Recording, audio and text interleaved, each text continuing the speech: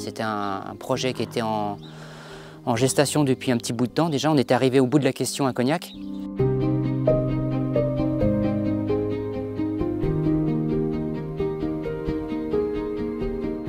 Donc là, on a 18 euh, hectares.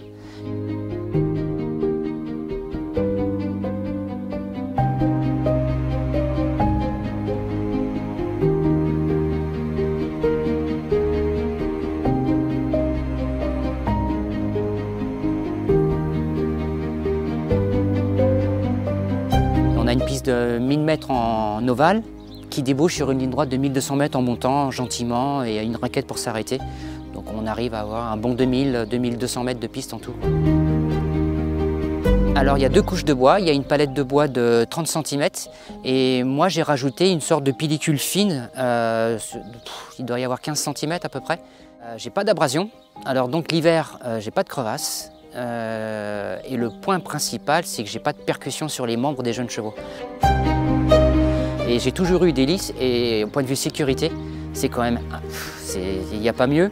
Euh, tout le monde se sent bien, les cavaliers aussi.